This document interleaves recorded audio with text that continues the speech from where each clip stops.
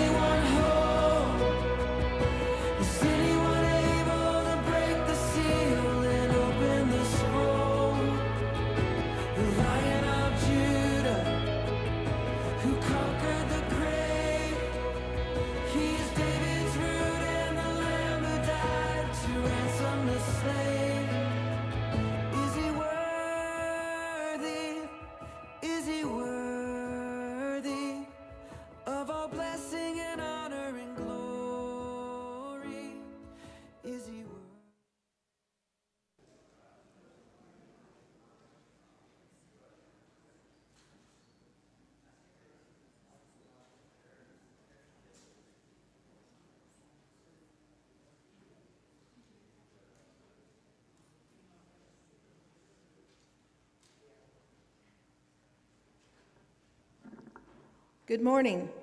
Welcome to Prospect Street United Methodist Church. Do we have any guests with us here today? First-time visitors?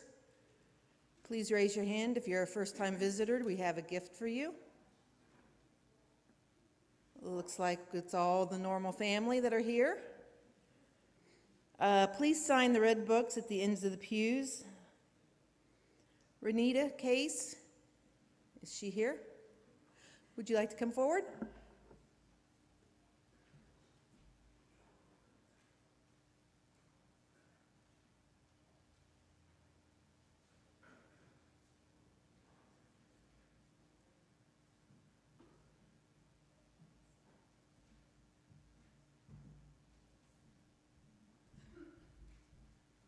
Good morning, everyone.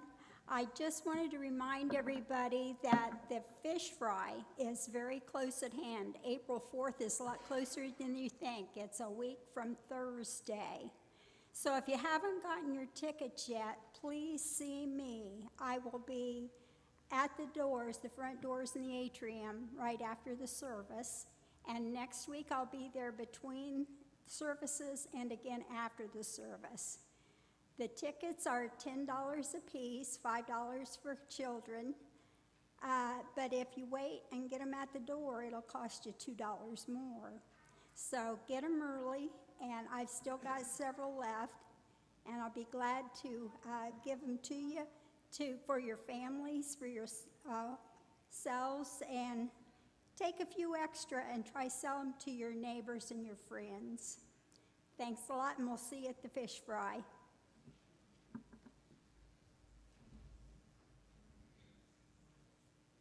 Let us prepare our hearts and minds for worshiping God as we silently listen to the prelude.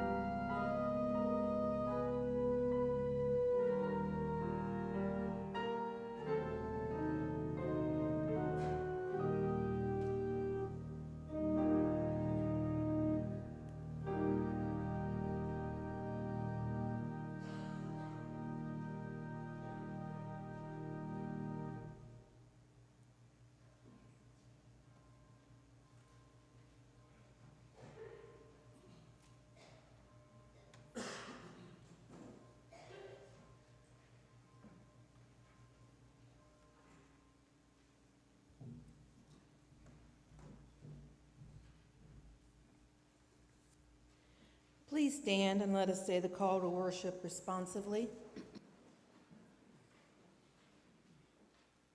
The Lord sets the prisoners free. The Lord opens the eyes of the blind. The Lord lifts up those who are bowed down. The Lord loves the righteous. The Lord watches over the sojourners and upholds the widow and the orphans. But the Lord brings the way of the wicked to ruin. Praise the Lord. Let us say the opening prayer together. Lord, I pray that my eyes may be opened so I can truly see, my mind be clear so I can hear you, and my heart be open to receive your love. I believe in your wonderful works and in your miraculous deeds. Help my unbelief. Amen.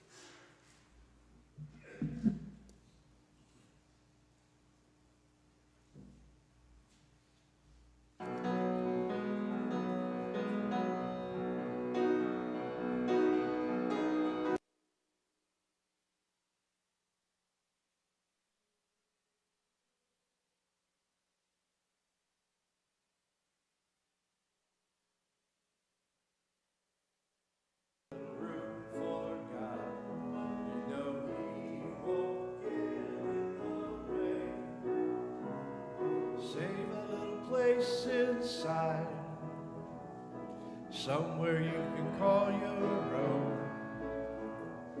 Then leave a little room for God, and you won't ever be alone. Every day is so mysterious. You wonder how things came to be. And when you start get real curious, well, he's the man you want to see. So leave a little room for God, just in case you need a friend. Everyone's got rainy days. It isn't so much if but when. Life is like a gift we're given. Every single day is new. We're thankful for the time we're living, but thankful exactly to who? Come on now, put your money in the bank and drive around a big old car. Just leave a little room for God, or it won't take you very far. Yeah, leave a little room for God as you're going down the road. He'll not only point the way, He's gonna help you with the load. Yeah, leave a little room for God and thank your lucky stars above that He'll be leaving room for you. He's always got some room for love. Leave a little room for God, my friend, and He'll have room for you. You just need to leave a little room for Him too.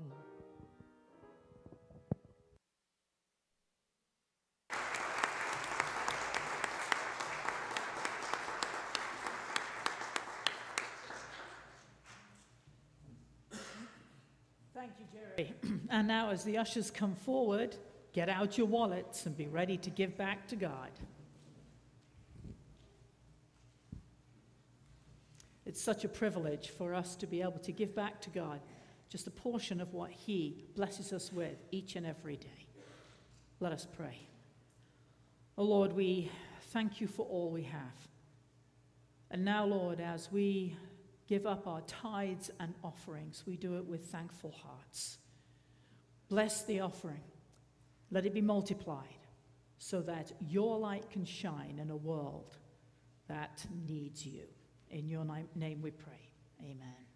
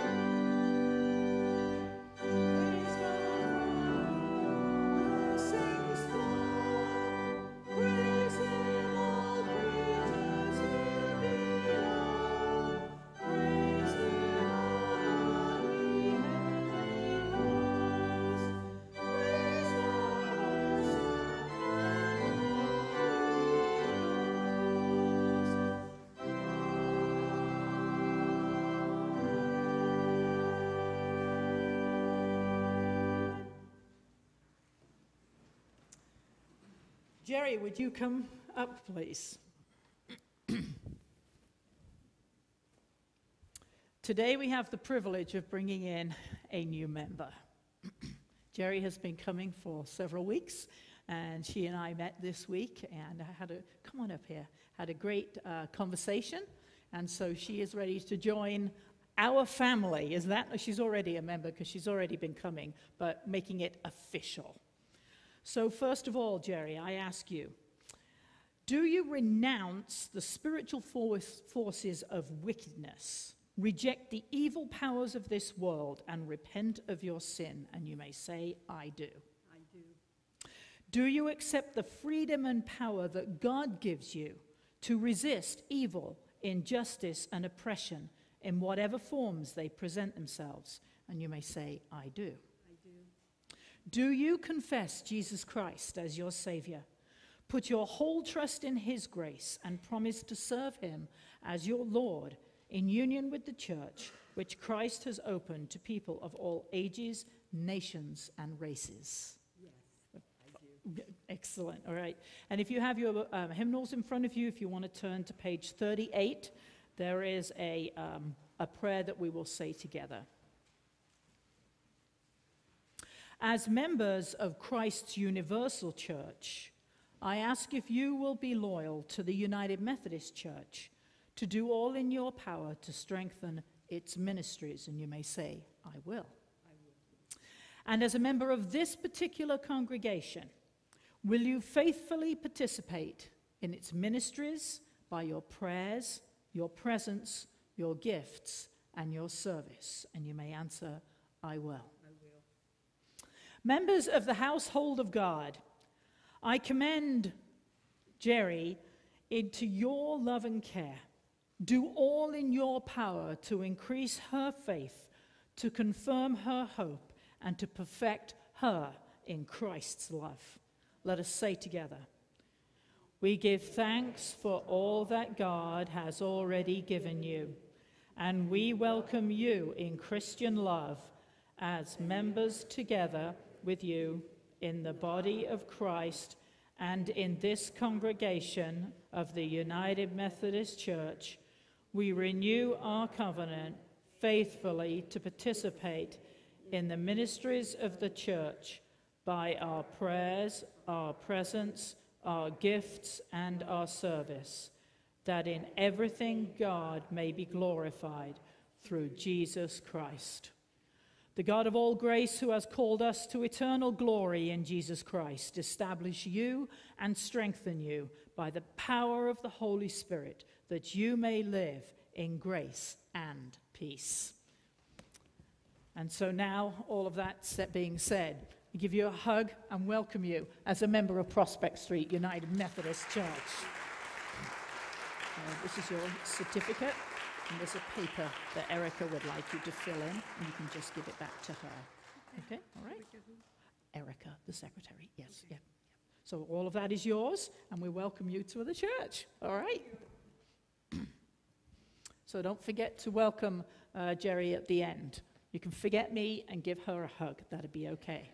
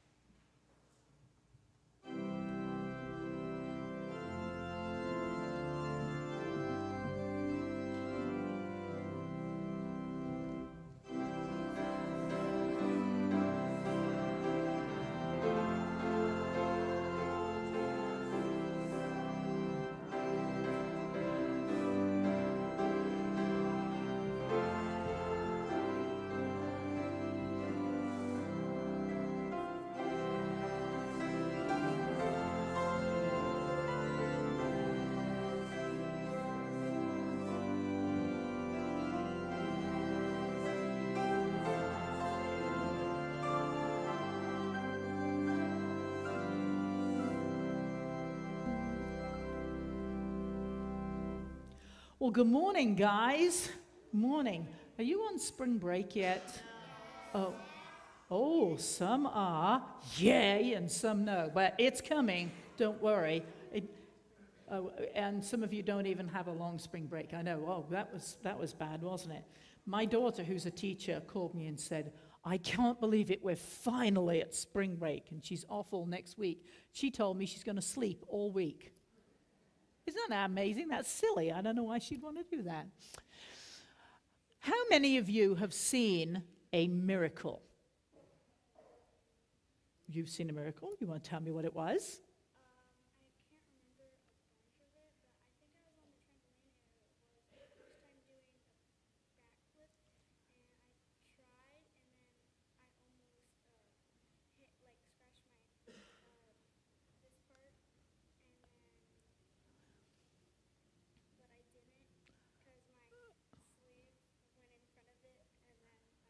Ah, okay, excellent. All right, I would say that was a miracle. So instead of getting really hurt, which looked like that would happen, you were saved from that. Who knows what a miracle is?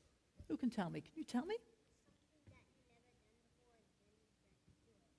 Never done before, and then you do it. Okay, a miracle involves God. Okay? In the Bible, we hear Jesus doing many, many miracles, like he walked on water.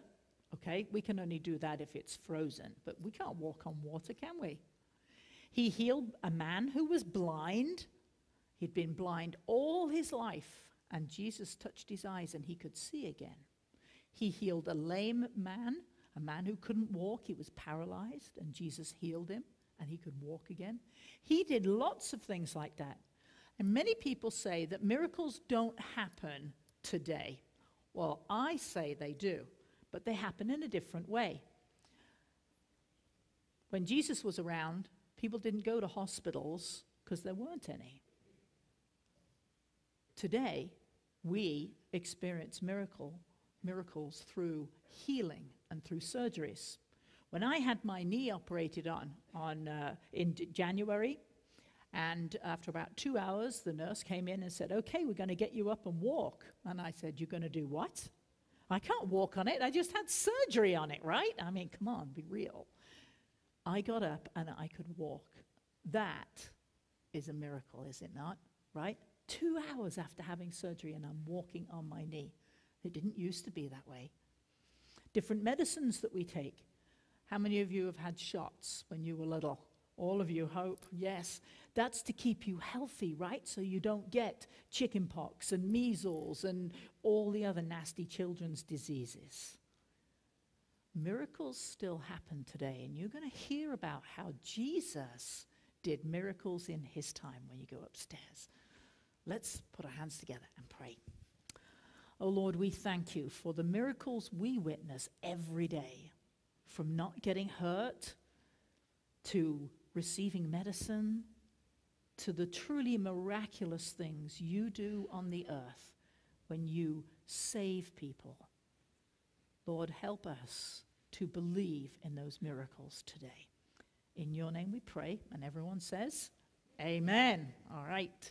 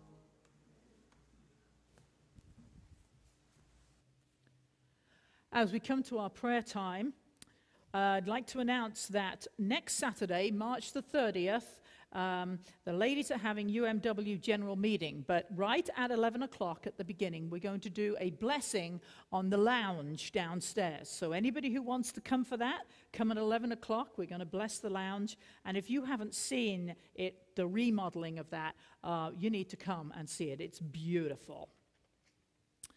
For our prayers this uh, day, we also, first of all, want to remember um, Cheryl Duzemer. She is having foot surgery on Tuesday. So, Cheryl having foot surgery. Phyllis Heineman asks prayer for the Daly family. Herbert passed away on Friday.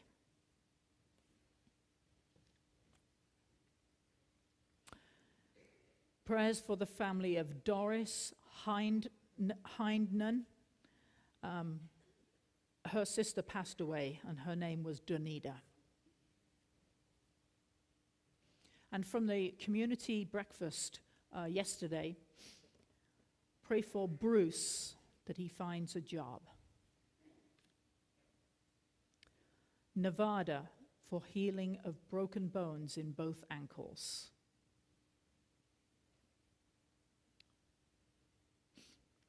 Dylan to have good roommates. And Miracle asks prayers for her mom who just got out of the hospital. There's three prayer blankets up here today. Um, one for uh, each of the three people who had surgery this week. So Dee O'Neill had surgery Monday on her knee, and she's doing really well. I'm going to go out and see her this week. Um, then uh, Deb Mailer, who had surgery on Tuesday to remove a uh, cancerous cyst that was behind her lung. So they had, um, she's doing pretty well. I talked to her. We want to remember um, her. And also for Doyle McLaughlin, who of course is here today. I wasn't quite expecting that, but she is here. She had um, surgery on her thyroid to remove a lump. So, um, if during prayer or any time during the service, if you want to come and just lay hands um, on these prayer shawls that have already been prayed over, um, and those will be delivered. But, Doyle, you can take yours today. Let us prepare our hearts to go into prayer today.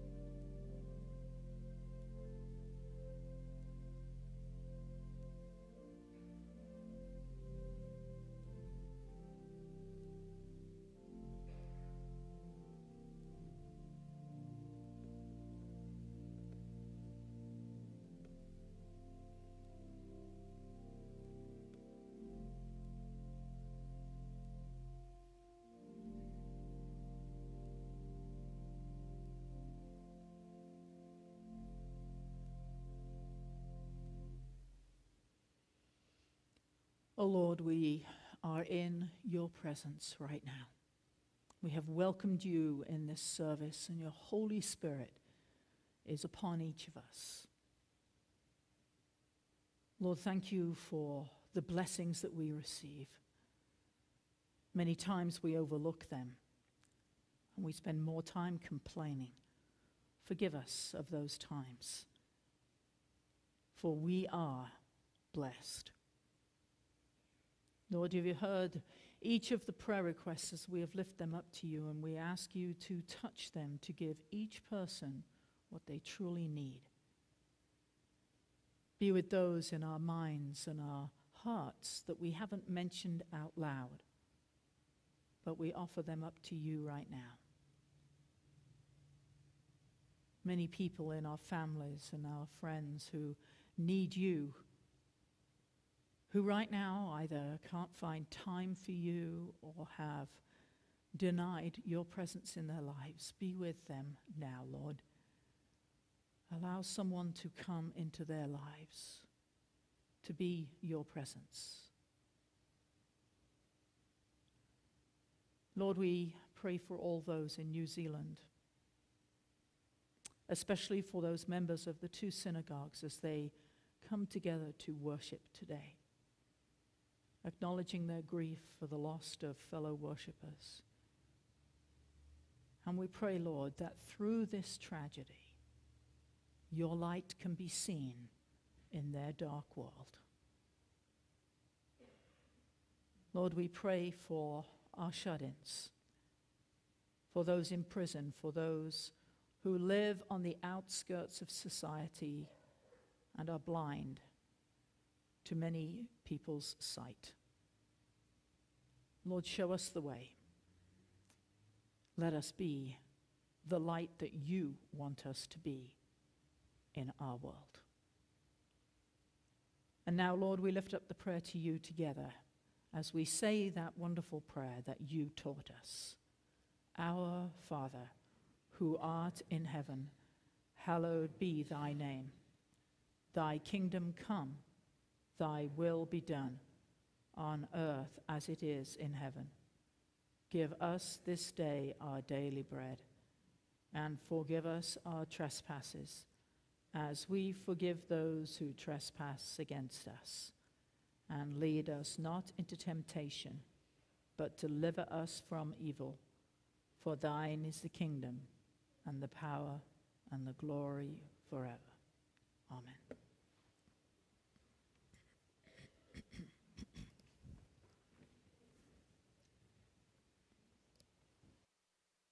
Please stand for the reading of the scripture. The scripture this week comes from John 9 1 through 12. As he went along, he saw a man blind from birth. His disciples asked him, Rabbi, who sinned, this man or his parents, that he was born blind?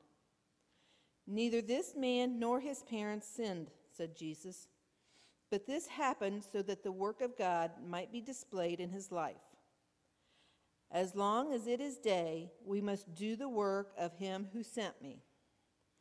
Night is coming when no one can work. While I am the world, while I am in the world, I am the light of the world. Having said this, he spit on the ground, made some mud with the saliva, and put it on the man's eyes. Go, he told him, wash in the pool of Siloam. This means word means sent. So the man went and washed and came home seeing. His neighbors and those who had formerly seen him begging asked, Isn't this the same man who used to sit and beg? Some claimed that he was. Others said, No, he only looks like him. But he himself insisted, I am the man. How then were your eyes opened? They demanded. He replied, The man they called Jesus made some mud and put it on my eyes. He told me to go to Siloam and wash. So I went and washed, and then I could see. Where is this man? They asked him. I do not know, he said. This is the word of God from long ago for the people of God today. Thanks be to God.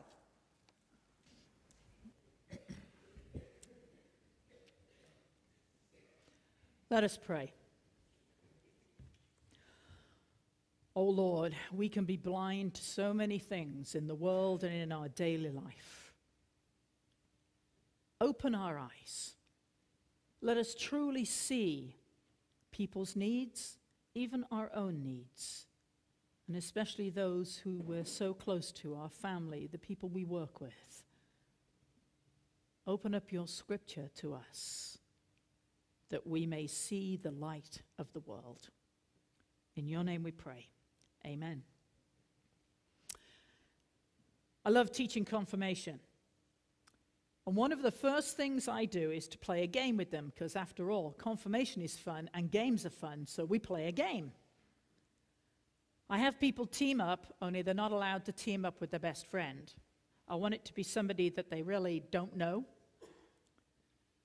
We blindfold one, and the other person is their guide. And I let them loose in the church and tell them, you have to get from A to B via this way. And of course, I include steps. I love watching it. I tell the person who's the guide, you guide them, but you have to do it with your words. You're not allowed to touch them. Inevitably, the guide will say, Go straight. Now, when you're blindfolded, you don't even have a sense of direction, what straight is a lot of times. So it, it, doesn't, it's not very long before the blind person has their hands out trying to feel for everything because the guide's bumping them into walls and into doors and everything. The guide will say, Here's a step, but won't tell them to stop and take a step down. I never let them hurt themselves. Well, not much anyway. But at the end of that, I asked the blind people, What did you learn? My guide is hopeless. They weren't a help at all. I couldn't see anything. I thought I knew this church inside and out. But when you're blind, it's entirely different. And I asked the guides what was so hard. Well, if they'd only listened to what I was saying,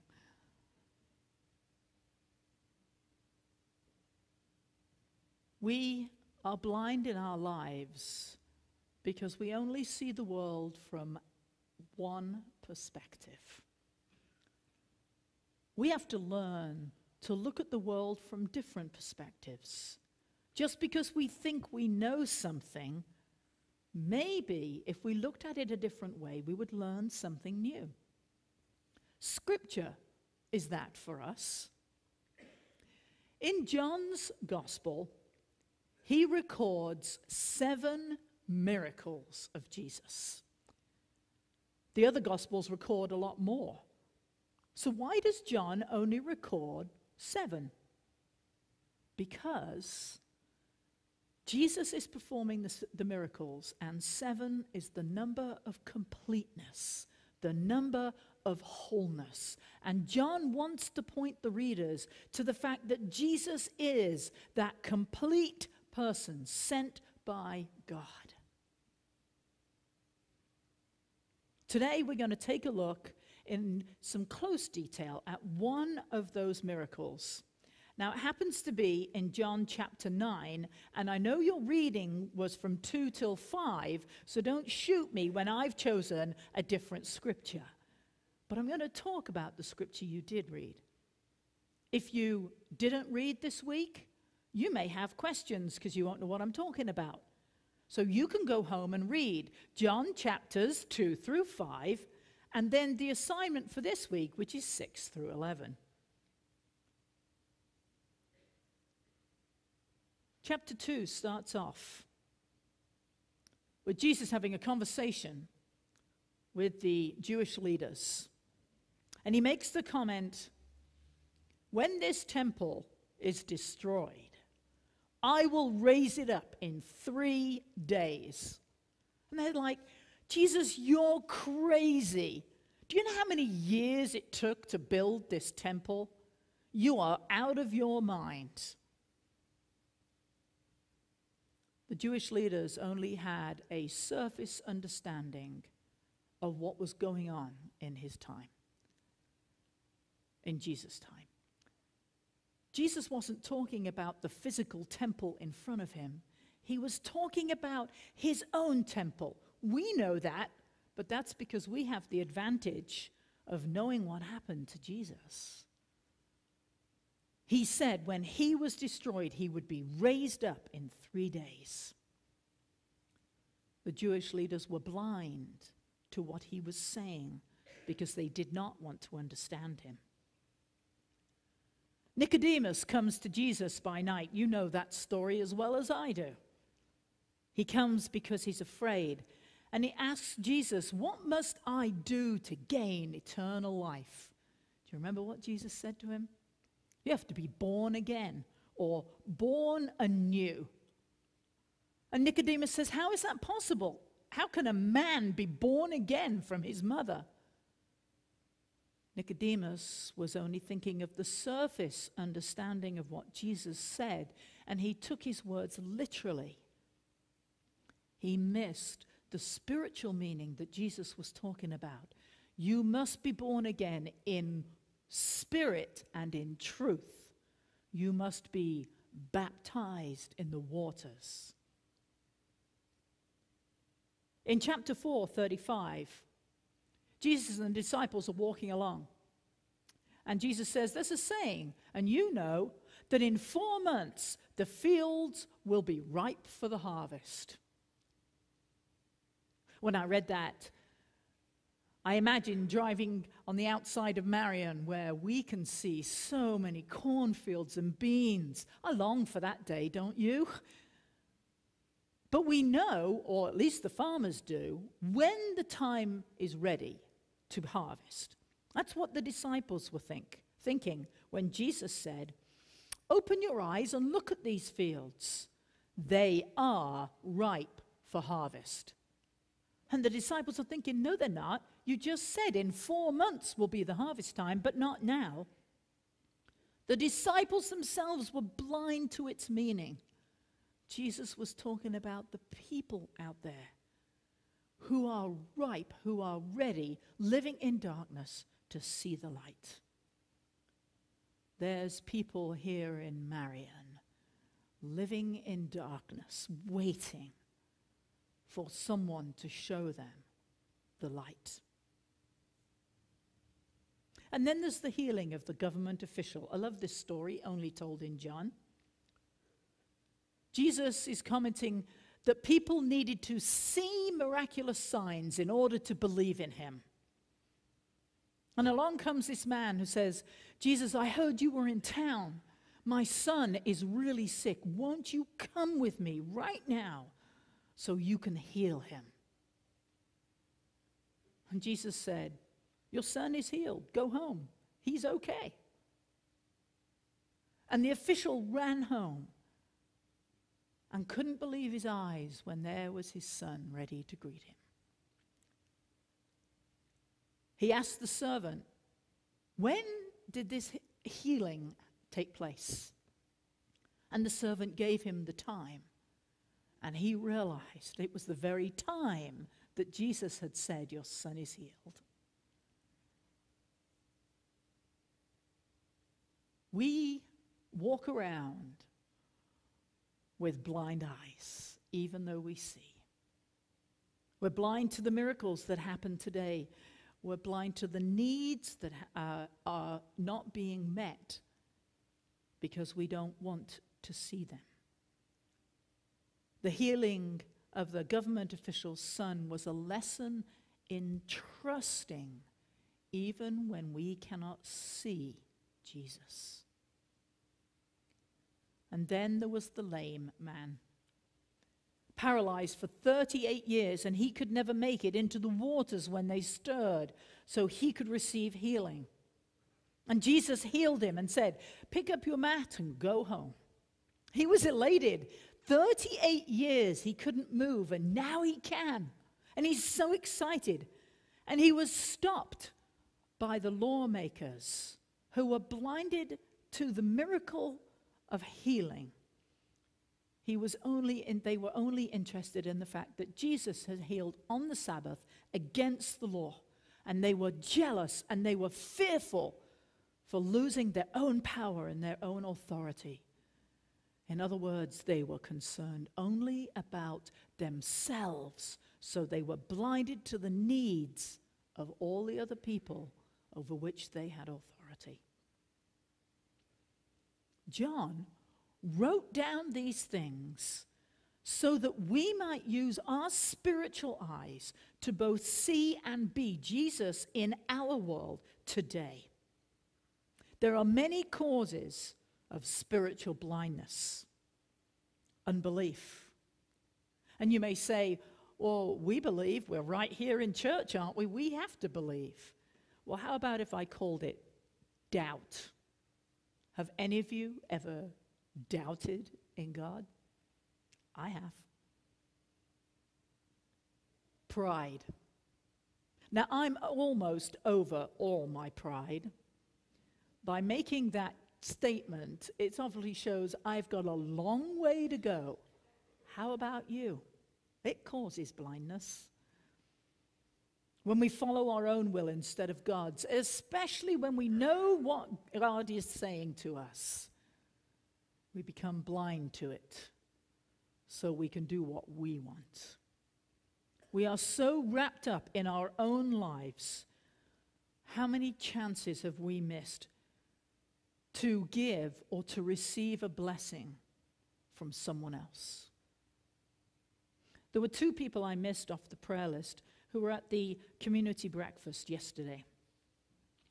I hadn't seen them for a while. I realized that they weren't there last month, but I didn't really give it much thought. I certainly didn't lose any sleep over it. And then in January, I'd had surgery, so I didn't see them then.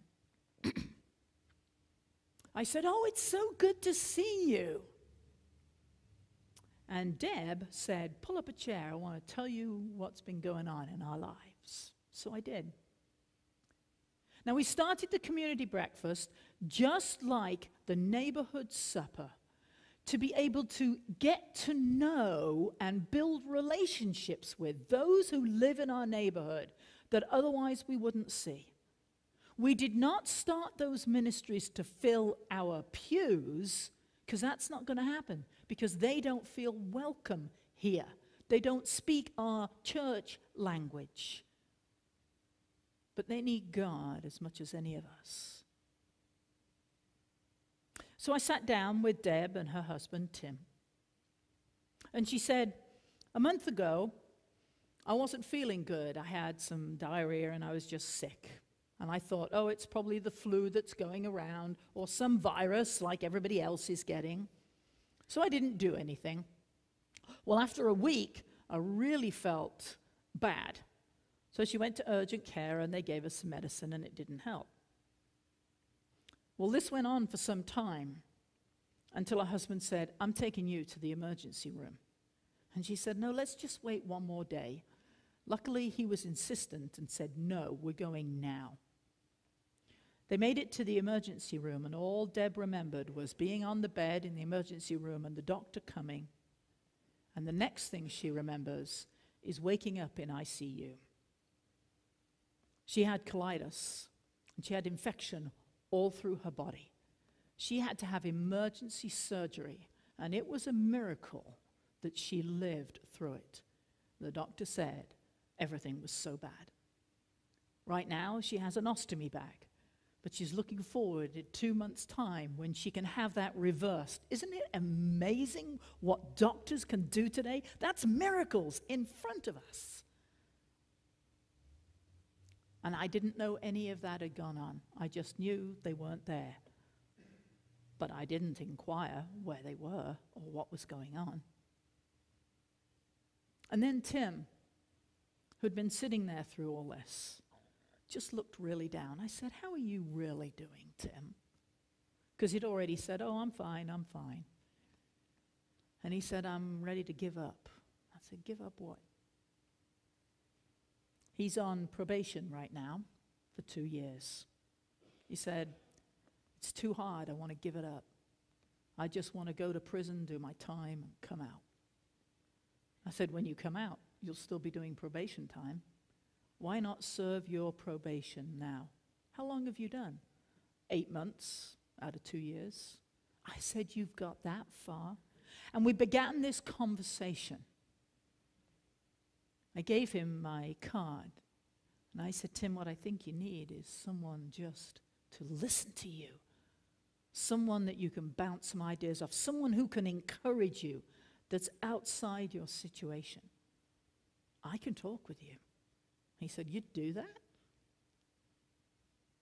So, with me, won't you pray that he picks up the phone this week and him and I can talk?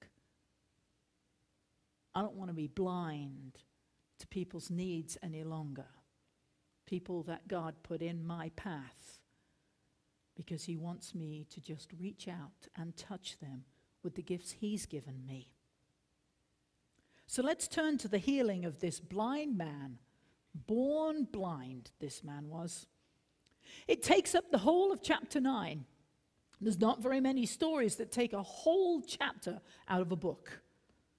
John is only 21 chapters long, so the whole of chapter 9 is on this the healing of this man born blind. It must be important, and it's almost in the middle of the whole book. When something's in the middle, it's important. It starts off with Jesus saying that because bad things happen, it does not mean that you have sinned and that you are being punished. If that was true, and we were being punished for our sins, none of us would be alive today because our punishment would kill us. God does not operate like that. There's people today who still believe that. And in fact, I would say that you and I do in part. When something bad that you haven't planned happens, do you ever ask why?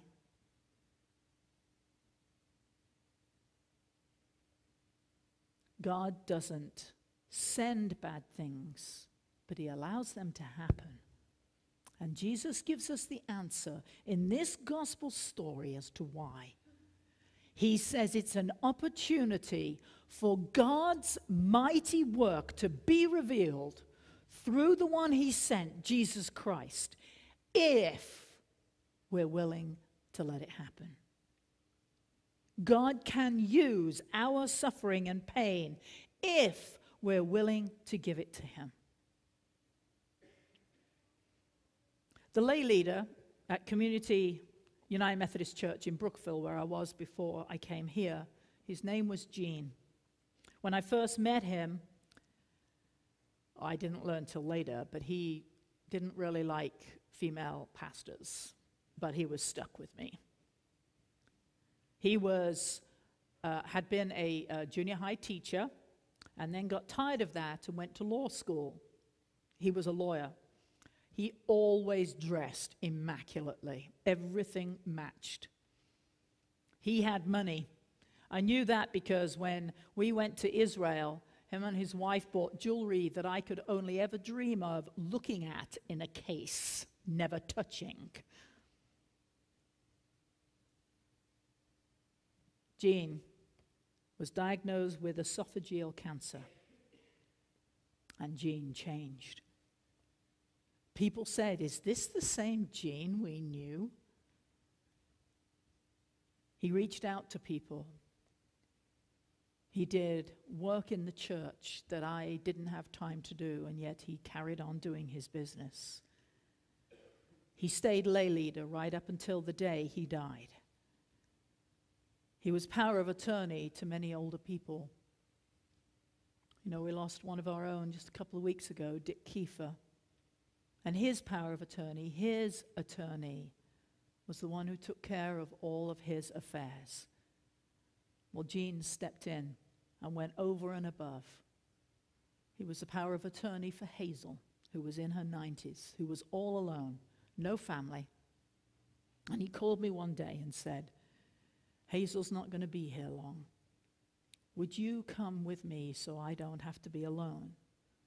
I don't want her to be alone as she reaches eternal life.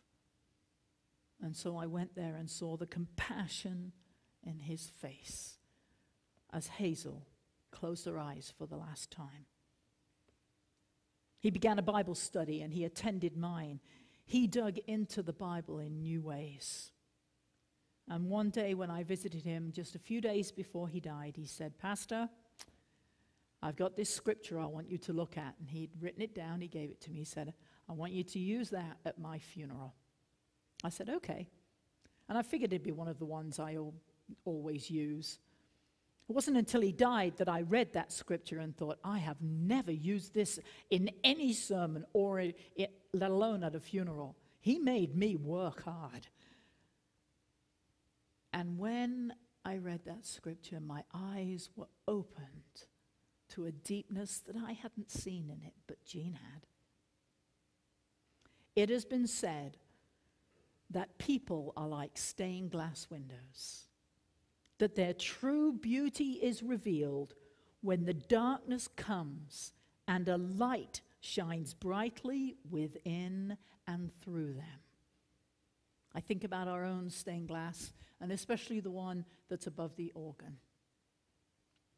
You can look at that and not think much of it on Sunday morning. But if you've been here in the evening when the light has been on it, it takes center stage. People are like that.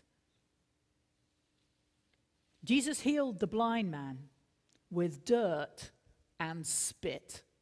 Talk about everyday common things dirt and spit. My kids used to love this story because I would, I would see them, if they'd had this in Sunday school class, outside spitting on the dirt and making things with it. It's a reference to the story of the creation of humans when God formed us out of the dirt of the earth. I wondered as I was reading this if when God formed that human, if he had not spat in the dirt first, and that as he was forming the human out of dirt, he was putting, molding into it, the human, his very own DNA, which each of us carries inside of us. But why did Jesus use dirt to heal the blind man? He could have just touched his eyes like he'd done many times before. On the surface, this story is about the healing of a blind man, but deeper, it's about what Jesus really came in the world to do. He had been sent to heal a broken world made from dust. Brokenness and pain came into the world when the first humans disobeyed God by eating the fruit. In John 9, brokenness and pain are healed when a man obeyed Jesus and went to the pool to wash. It reminds me of the story of Naaman in the Old Testament. Do you remember that story? A very rich man who had heard that Elisha was in the area and he had leprosy and he wanted to be healed. So he went along with his camels loaded with all sorts of gifts and jewels and money and everything that riches could buy because he was going to buy himself some healing. We do that today, and it costs us a lot of money to go into hospital and have something done. He didn't even get to meet Elisha, but Elisha, who knew he was coming, sent his servant. And the servant said to Naaman, Elisha says, Go down to the river Jordan and wash in it seven times, and you will be healed. Simple. But the man took offense to it. He wanted to speak to Elisha himself because Elisha had to touch him. It had to be a great big dramatic thing for him to be healed. He had all this money and gifts he wanted to give away. But he was told by a servant to go wash in the dirty Jordan River. He walked away, his pride in the way. A servant of his convinced him, Why not just try it, Naaman? You never know what might happen. So he gives in and he goes down, and seven times he bathes in the river Jordan. And after he had done that, he was healed. John tells us this story of the man born, blind because he says, Don't be like Naaman. I want you to believe and I want you to be obedient because as soon as Jesus had put the mud on his eyes and said, Go wash, the man didn't complain. He didn't ask questions. He went immediately to the pool and washed and was healed. It wasn't the mud that healed him, it wasn't even Jesus' touch that healed him. He was healed after he had been obedient to what Jesus asked him to do. We, like the man born blind, like the disciples, the Pharisees, the Jewish leaders, walk in blindness, in blind darkness today. But when we accept Christ into our lives, and then we choose to follow him, and then each day we surrender a little bit more of our- lives for the life in Christ, our blindness is lifted. When this blind man was questioned by the Pharisees and even his friends about his healing, many of whom didn't believe it was the same man because how could he suddenly see? I think that's hilarious. His answer to all their questions was, I don't know. But one thing I do know I was blind, and now I see. On Thursday, March 21st, it was the anniversary of the conversion of another man, born in the mid 1700s in England, and his name was John Newton. Growing up, he was raised by his mother, and she prayed every day that one day he would become a preacher. But as soon as he was 11, he followed the path of his father and became a sailor working in the slave trade at the time. Even other sailors said that his profanity was bad. His language, his drinking, and even his character, nobody wanted to hang around with John. He was a terrible man. One day on the ship, probably he was bored, he picked up a book he loved to read. And it was by Thomas a Kempis. And it was written on the life of Christ. And he began to read it. Not long after that, there was a severe storm that hit, and it killed almost the entire crew. But Newton survived. And during the storm, he heard himself yelling out, God, in your mercy, save us. He never thought such words would come out of his mouth, and he realized that his heart had been stirred. And so, from that day forward, he dedicated the rest of his life to serving Christ. Eventually, he gave up the slave trade.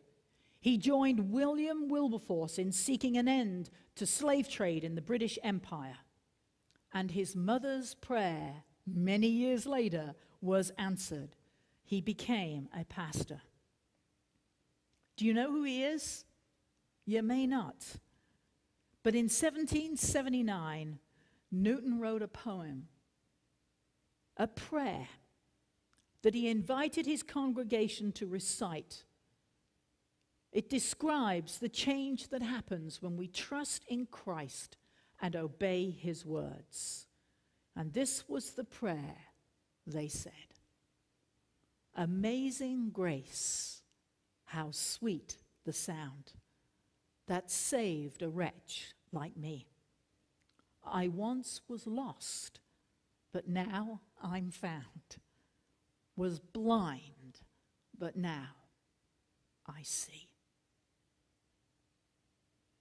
So, as you continue to read the Gospel of John this week, chapters 6 through 11, pray that God will enable you to see clearly the love He has for you.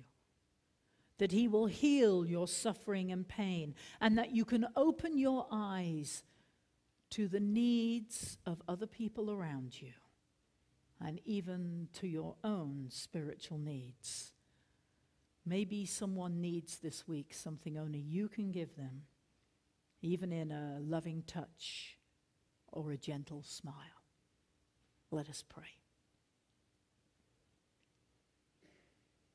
Oh Lord, physically we can see, but spiritually we go around with blinders on, oblivious to the things that you want us to see. So open our eyes this week, Lord, and let us be attuned to the things you have for us, the things you truly want us to notice. Let us be blind no longer. Amen. And now we're going to stand and sing with this sermon in mind Amazing Grace. Let us stand.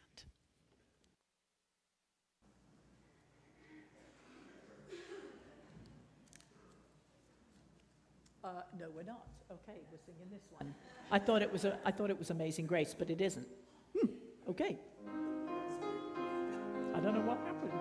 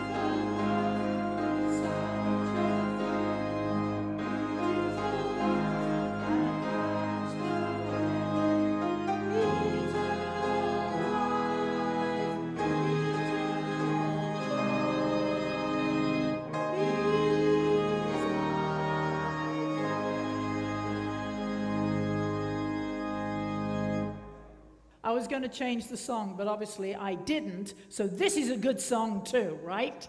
Jesus is our friend and he wants the best for us. So go out in this world with eyes wide open. Let us pray. O Lord our God, we thank you for the blessings you give us. Let us pass on those blessings to others. Lift our blindness from us so we can live in your will all day, every day. And we ask this prayer in the name of God the Father, Jesus the Son, and through the power of the Holy Spirit. And all God's children say, Amen.